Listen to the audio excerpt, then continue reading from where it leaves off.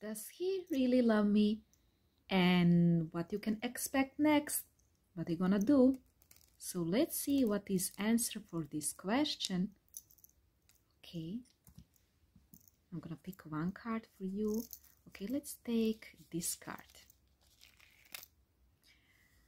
Oh, well, you can deal with Pisces, you know, with a person who is connected strongly with Neptune. This person is so passive, you know, they they can't express them feelings. They they are very um, closed, you know, they don't want to speak about that. Sometimes you even don't know anything about this person, like like like you don't know who they truly are. So we have to take more cards for this oh wow you can you can deal with fire sign also you can deal with your twin flame this can be sagittarius aries leo. This person will come with communication they're very passionate you know about you. So what they truly feel for you they're not sure you know they still uh, taking time to make decision about this and they're very passive but in one moment they're gonna just surprise you and they're gonna come back with some communication you know toward you and that's it. I mean they have passion toward you they have attraction what they feel toward you.